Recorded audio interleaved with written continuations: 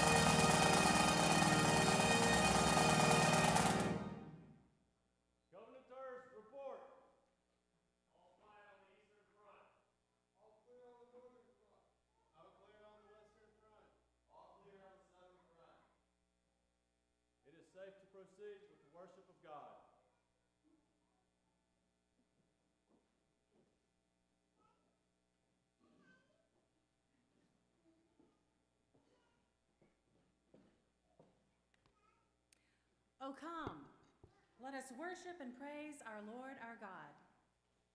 He has worked through the lives of men and women.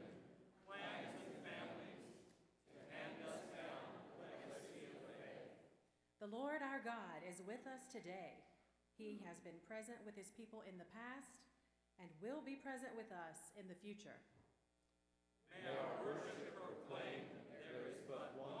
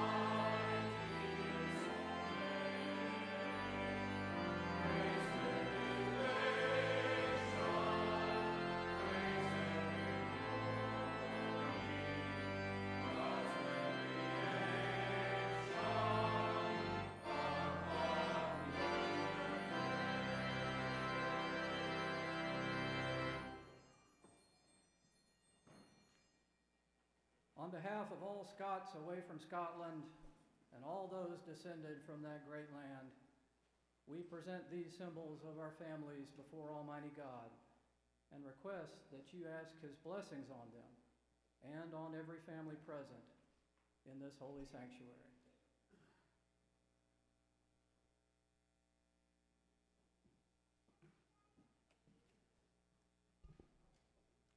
This service celebrates the Presbyterian heritage of Scotland, but today we also celebrate all the families who are represented here. So, be ye Scottish or be ye not, every family, every person, speak forth your name in this rededication time. Bring to God the names of every family and clan and people. Bring to God the tartans, the symbols of family heritage, the symbols of God's future. On behalf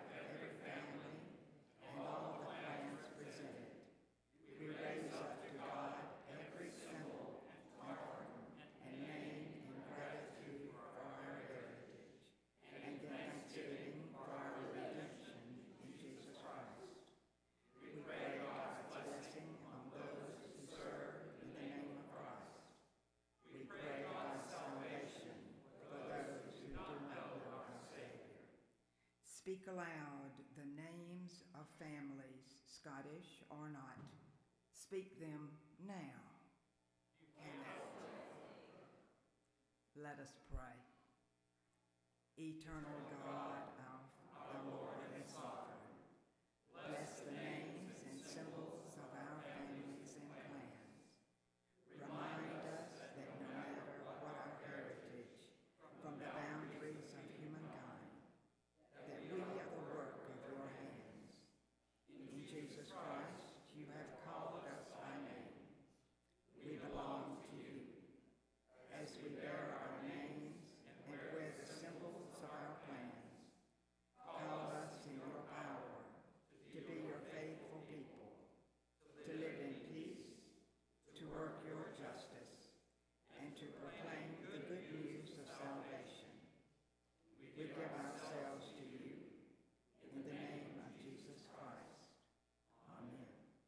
Please be seated.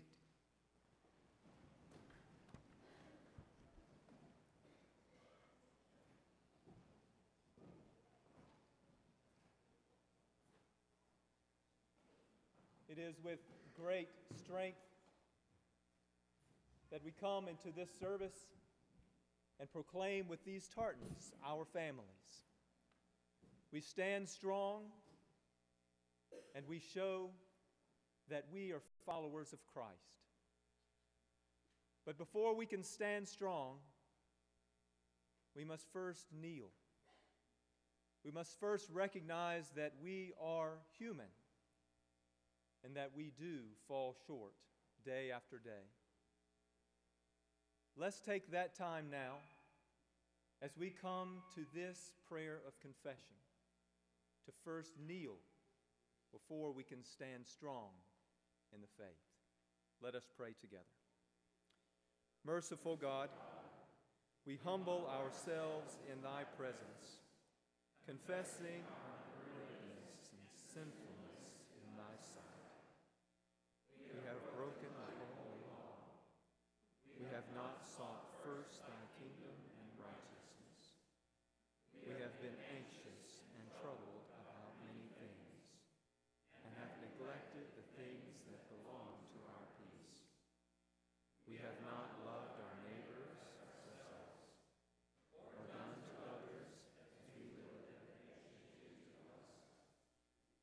Most gracious God, our Heavenly Father, who has given thy Son, Jesus Christ, to save thy people from their sins, forgive us, we beseech thee.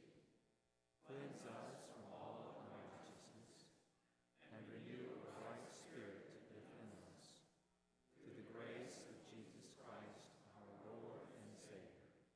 Amen. Our faith and its assurance are the inspiration of the Holy Spirit. We confess that the Holy Ghost does sanctify and regenerate us without respect to any merit proceeding from us. He who has begun the work in us alone continues us in it, to the praise and glory of his undeserved grace. Thanks be to God.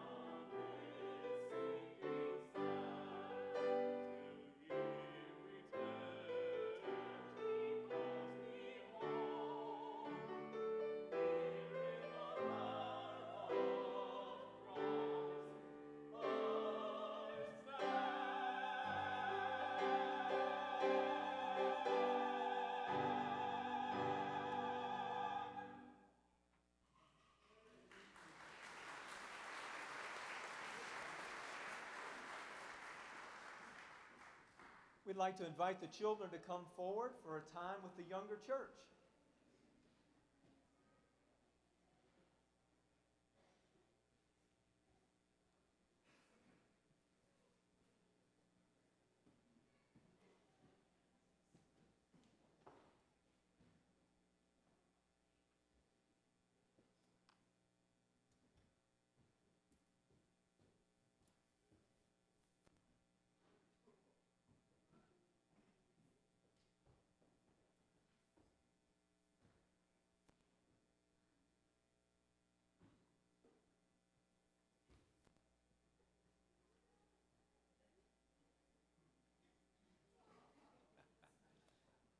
Morning, everybody. My name is David, and this is my brother Michael over there. Um, and we've grown up in this church just like you, and have come to play in the bagpipe band that brings us this great music today. So I have a question for everybody. Do you know where Scotland is? Do you know how you would get there? Okay. By a boat? So we can start with a boat, but we need to get to a beach. So let's go to a beach, like Charleston. So we're in, we get to the beach, we get in the boat. We start sailing east. And we sail, we sail, we sail, and then we sail a little bit more, and eventually we hit land. And that land is Africa. So we gotta turn left, gotta turn left and start sailing north. We sail north past Spain and Portugal and France. And we eventually we get to a group of islands. We call those islands the United Kingdom. They're made up of England, Wales, Ireland, and eventually, if you get far north enough, Scotland. Scotland is a very rough, mountainous, rugged land with brave and courageous people called Scots. And the reason we make all the fuss about Scots is that the Presbyterian Church came from Scotland. And what I mean by that is hundreds of years ago, your spiritual grandmothers and grandfathers made that journey the other way. They got on a boat and came to America and settled in the Carolinas. And they brought with them not only a form of worshiping God, but a lot of good beliefs and a faith. A faith about what's right and wrong, who we are, who God is, and how God wants us to live our lives. And that's what the Presbyterian Church is all about. So that is what we're celebrating here today. That and a lot of funny stuff like bagpipes and wearing skirts. And it's, it's, it's not a skirt, actually, it's, it's a kilt. And those brave and courageous men and wore kilts. You have to be brave to wear a kilt, especially, especially in parts of Greenwood and Abbeville County. So today is about the church, but it's also about families. Can everybody see those different banners over there with all the different colors? Your family tartan is probably up there, but the formation of those colors is called tartan, and each of them represents a particular family. And when you look at them, you can see all different colors, and some of those colors are narrow, some of them are wide, but you weave them all together and they represent a family. You know, God has a tartan. See what it looks like? Yeah? Stand up for me.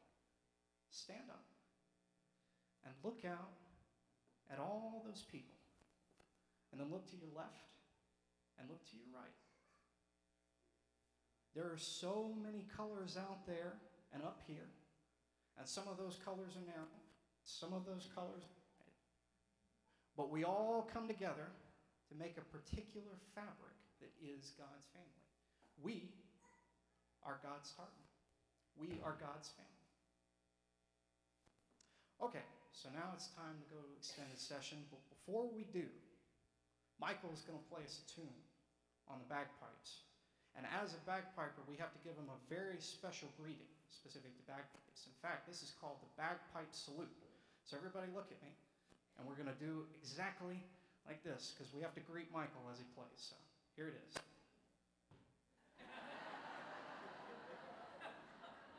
All right, everybody got it? Okay, let's follow Michael out.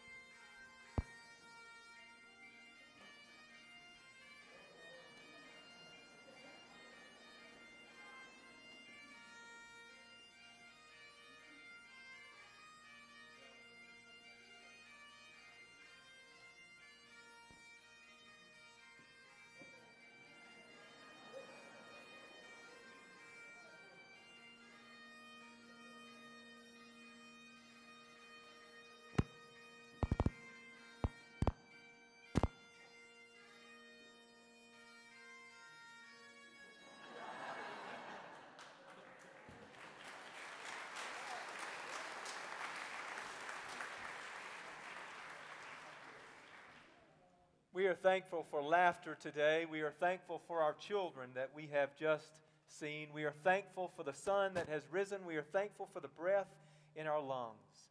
In thanksgiving, let us celebrate by returning to God our tithes and our offerings as we thank God for the many blessings that we have had and the many blessings still to come.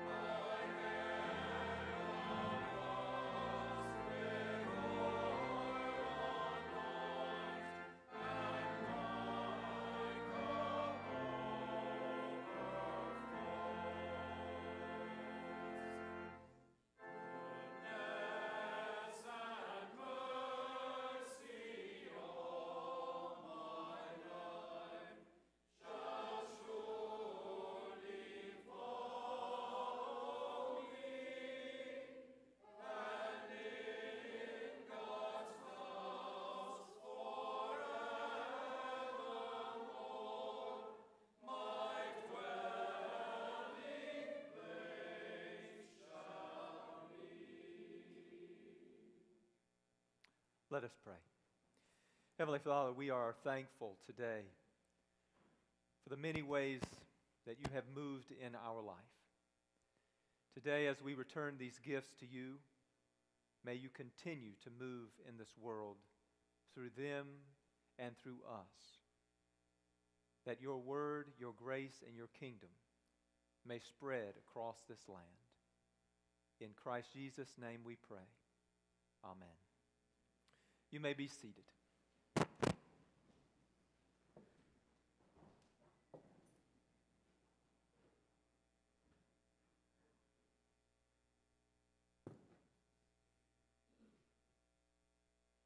Let us pray. Almighty God, as the scriptures are read, reveal yourself to us and grant that in this time of holy quiet, the Holy Spirit may renew, illuminate, and refresh our souls. Amen. Let us pray together. Our Father, who art in heaven, hallowed be thy name. Thy kingdom come, thy will be done, on earth as it is in heaven. Give us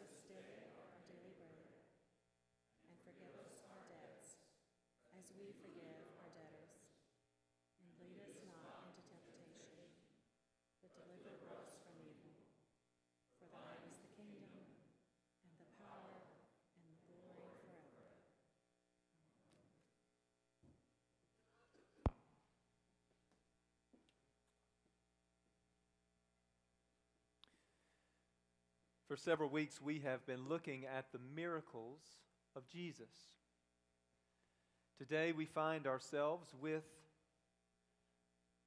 a miracle that has much meaning and discussion around it.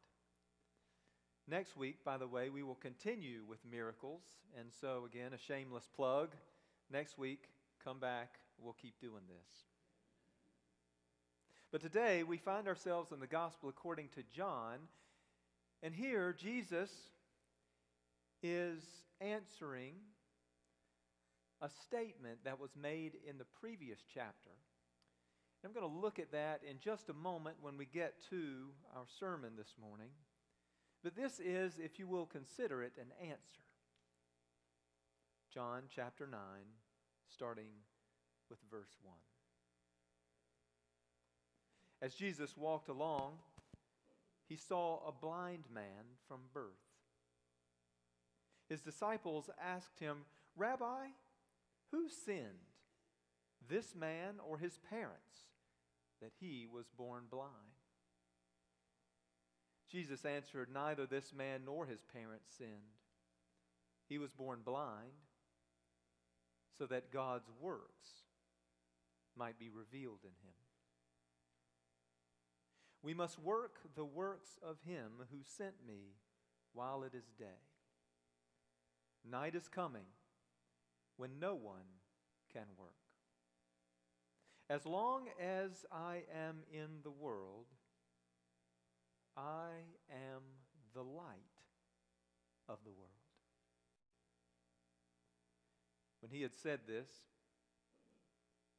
he spat on the ground and made mud with the saliva and spread the mud on the man's eyes, saying to him, Go, wash in the pool of Siloam, which means sent.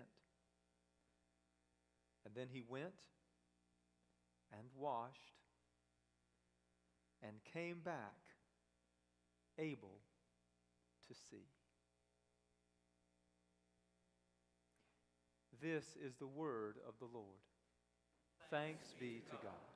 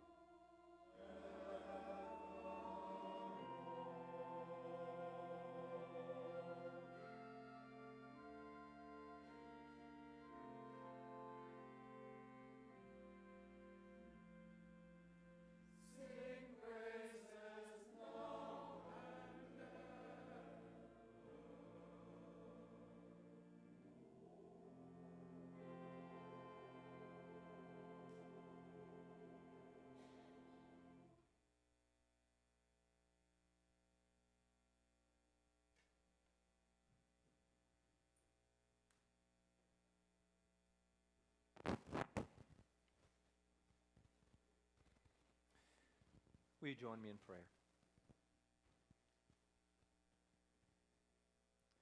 God of grace and power, we have experienced your presence today already.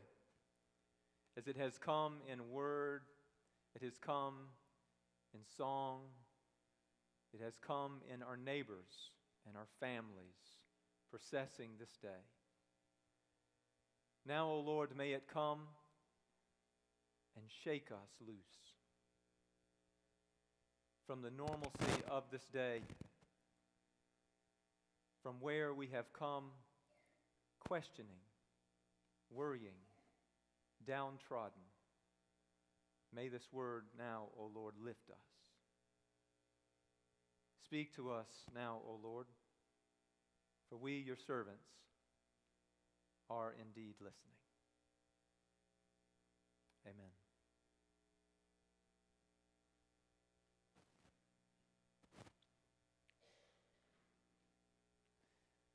Jesus spoke to them,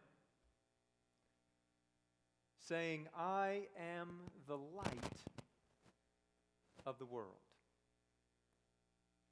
Whoever follows me will never walk in darkness,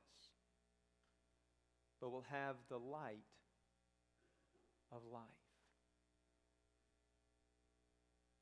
The Pharisees, however, responded Jesus in this most famous statement in chapter 8 of John today. The Pharisees are the ones who are supposed to keep their eyes out and on a look for the coming Messiah. They are the investigators, the ones that were to be ready when he came. Their response when Jesus revealed that he was the light was simply to say that you're testifying on your own behalf. Your testimony is not valid.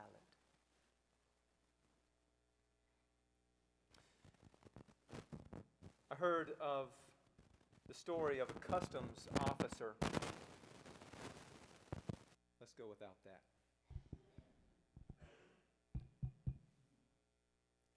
I heard the story of a customs officer who had a keen eye for entry into the country. And he saw a truck driving up and a person inside of that truck, and he was very suspicious. And so he would go up to the truck and he had a keen eye to look and see if this person was trying to get something into the country. Well, he looked over the truck very closely and didn't find anything at all and discouraged. He waved the truck on through, come on through, I don't see anything. Well, the same thing happened the very next week. The truck drove up and this guy was in it and the customs man was standing there and he said, This guy has got to be smuggling something. So he goes and he takes everything that he can and looks over the truck and cannot find a single thing and again waves the truck through. It so happens that this same thing happens again and again and again, week after week, in fact, year after year.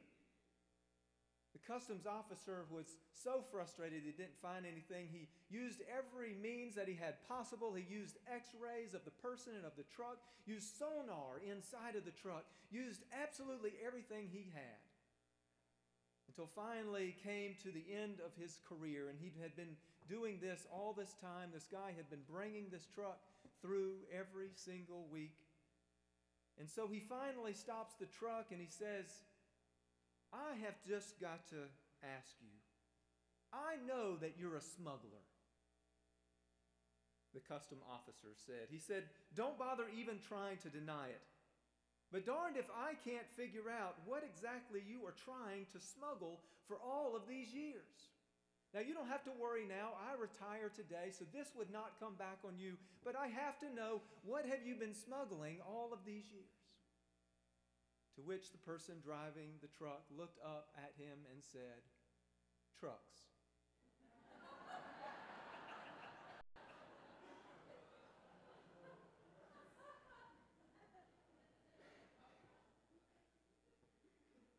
the Pharisees are, are overlooking a blatant presence of the Messiah. Or maybe, maybe the term isn't overlooking, maybe the term is blind to the Messiah. What this story is, is a story about blindness. It's about blindness in more ways than one. It starts off with this idea of a blindness of this person who has been blind from birth, who could not see from his eyes, and so very easily, catch that, how easily Jesus comes into this man's life, and then he takes saliva and dirt and mud. And this is the point in the story where you just go, ugh. And puts it on his eyes, and he's healed miraculously as he goes and cleans himself in the pool. This conversion from blindness to sight is simple. But the other blindness in this story is way more complicated. The story starts out with the apostles. The apostles are blind. As they're walking along, they see this blind man, and what do they do? Instead of being moved by this blind man here, we don't get a story here of, of someone walking over to the blind man and helping him somewhere, helping him go somewhere, helping him find food, helping him understand something, helping him, lifting him up, giving him good news. We don't find any of that here. Instead, what do we find? We find the disciples debating over something that was part of the belief of that time that if, if someone is stricken with an illness, especially blindness, it is the result of something that their parents did. And so they're wanting to talk about his blindness. Jesus says, essentially, you all have missed the point today. where you can talk about blindness all you want, but remain blind all your life. But this man is about to see. I think Jesus probably could have added a line there where he said, I wish you would see.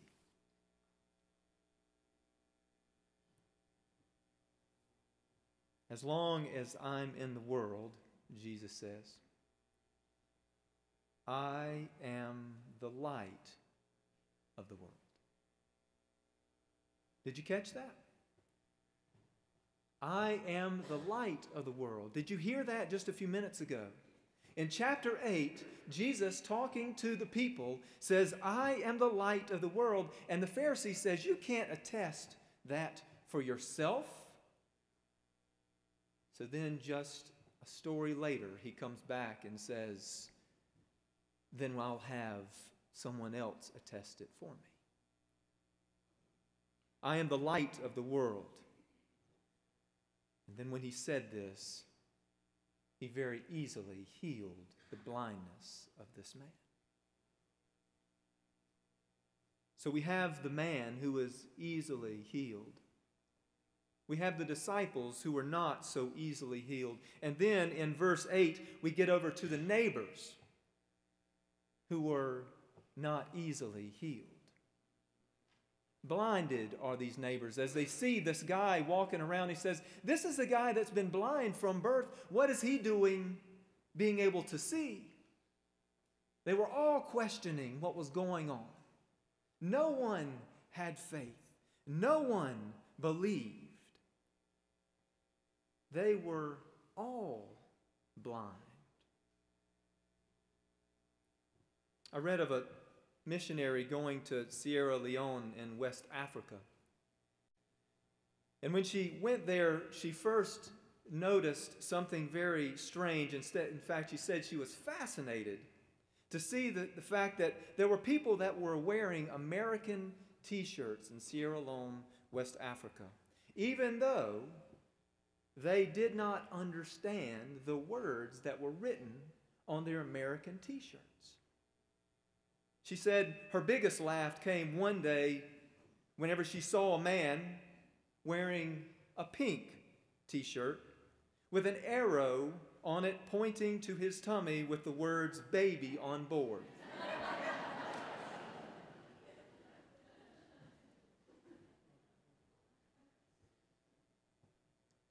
Sometimes the neighbors don't get it. And then the Pharisees. Verse 13 the Pharisees then see this blind man and they ask him, Are you really able to see when you used to not be able to see? He said, Well, sure, you see me seeing, don't you? But they didn't take that for proof. Instead, they had to go to his parents and they asked the parents. And the parents' response was, He's old enough to talk for himself. Go talk to him. And they went back to him again and they began asking him this question. And I love this question. I love this question. Verse 17, and they said again to the blind man, What do you say about him? It was your eyes that were opened. What do you say about him? Now, the picture that I want us all to see at this point is all of those who were blind. And the only one who's able to see is the one touched by Jesus.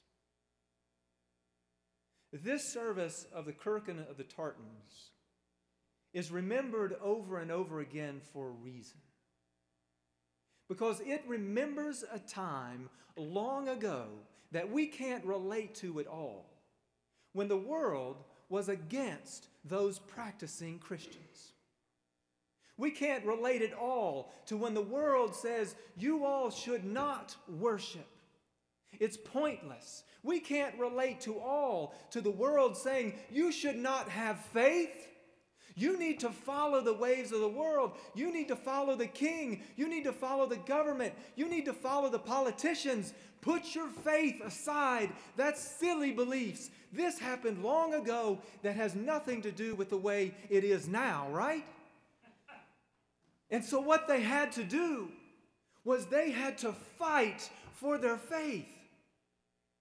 They had to stand against the world just like they were at battle, at war. And so we have this processional into the service and the drums and the bagpipes lifting the people up, saying, We are going to battle whenever we go to fight to believe in a world that no longer believes that God is worth anything.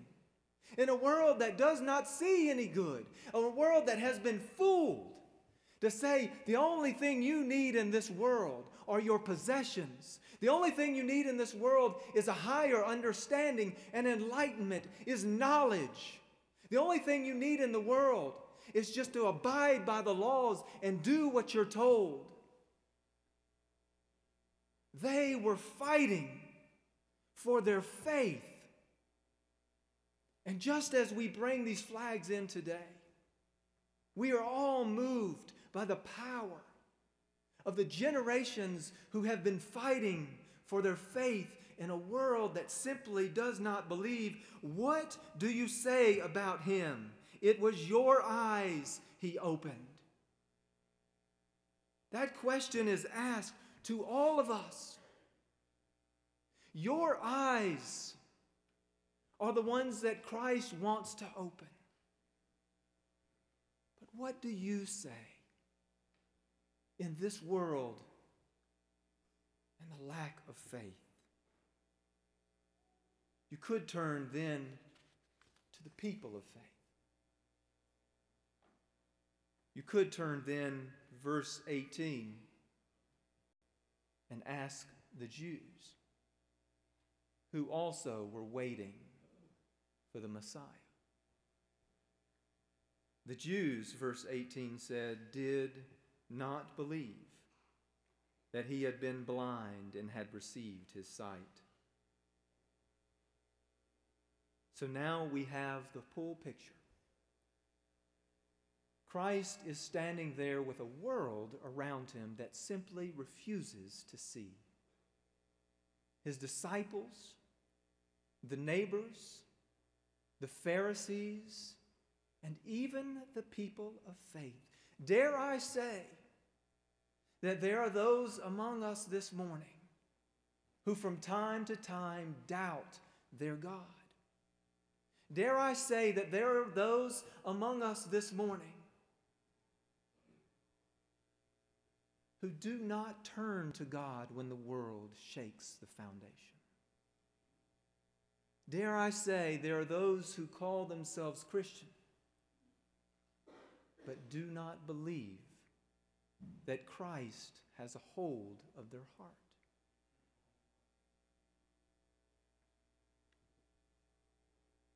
So then the Pharisees call the blind man back again.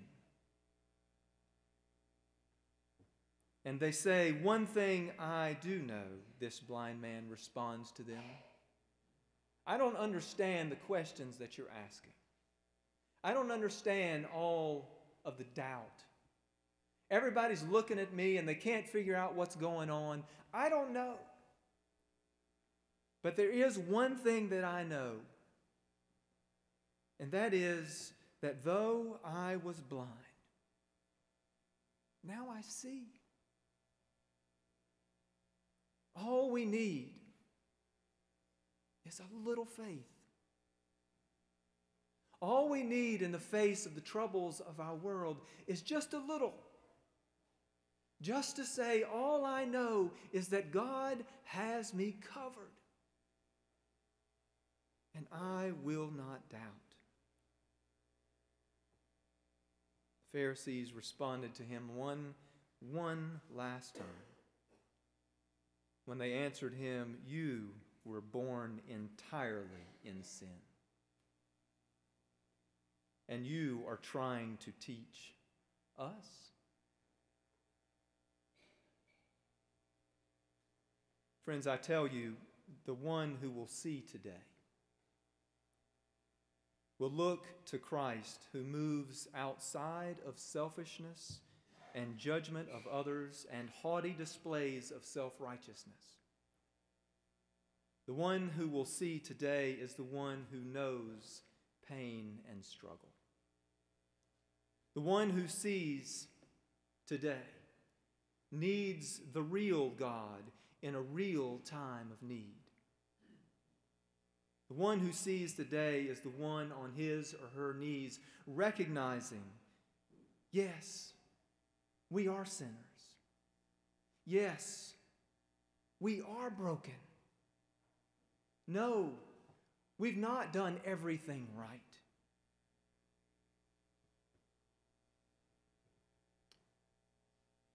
Jesus heard about the Pharisees condemning this man. And Jesus now comes to this blind man. And Jesus asks him, Do you know the Son of Man? Now that this man has been able to see, has received the power of God,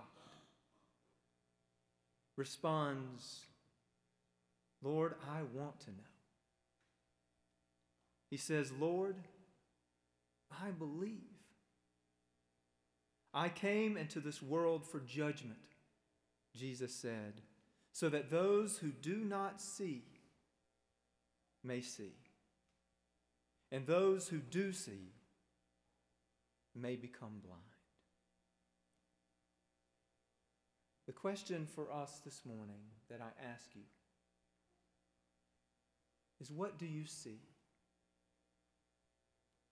Do you see worry and illness and brokenness in you and all around you?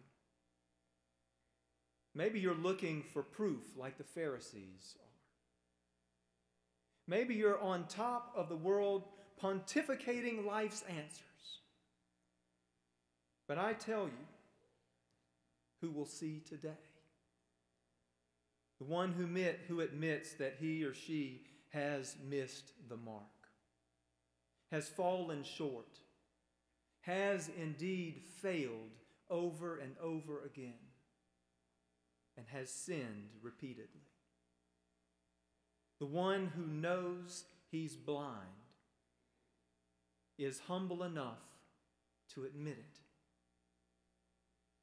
and is able in a few moments to sing aloud that great famous song, Amazing Grace.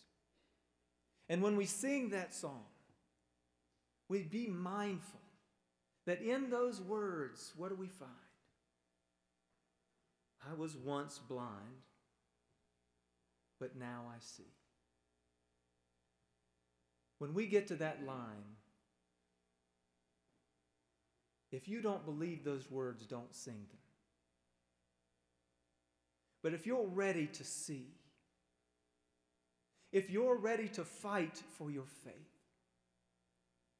if you're ready to stand when the rest of the world just follows the forces of the world, if you're ready to follow Christ, then sing out those great words of amazing grace as we're lifted and find God's power coming to life inside of you now and forevermore. Amen.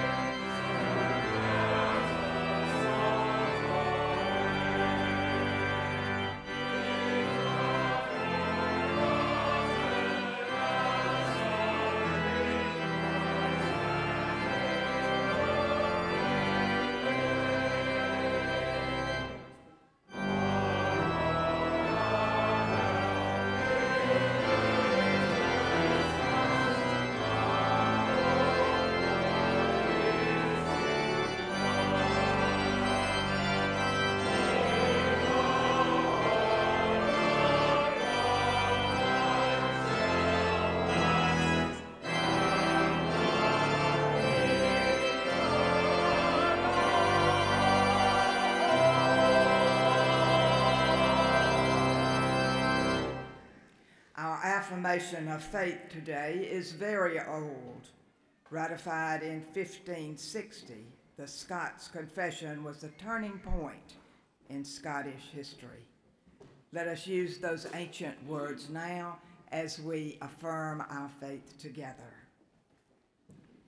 We confess and acknowledge one God, to whom alone we must cleave, whom alone we must serve, whom only we must worship, and in whom alone we put our trust, who is eternal, infinite, immeasurable, incomprehensible, omnipotent, invisible, one in substance, and yet distinct in three persons, the Father, the Son, and the Holy Ghost, by whom we confess all things in heaven and earth, visible and invisible, to have been created, to be retained in their being, and to be ruled and guided by his inscrutable providence, for such end as his eternal wisdom, goodness, and justice have appointed, and to the manifestation of his own glory. This morning, I will change things up a little bit. I want us all to remain here while we sing Amazing Grace. And then after we sing Amazing Grace, then we will recess. So I will just do the charge now and then the benediction after we finish singing Amazing Grace. Be watchful, stand firm in your faith.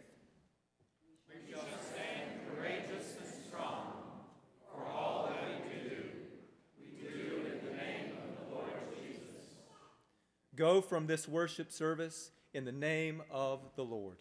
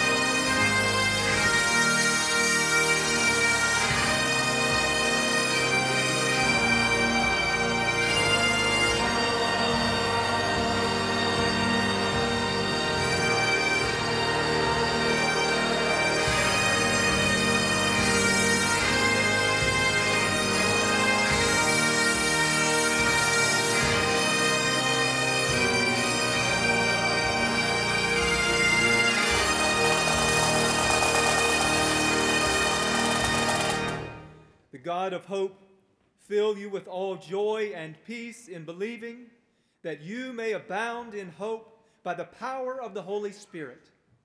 Alleluia. Amen.